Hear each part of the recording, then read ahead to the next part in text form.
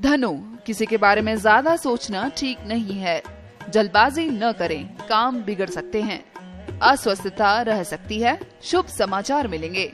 आत्मसम्मान बढ़ेगा, चोरी आदि से बचें, निवेश शुभ रहेगा।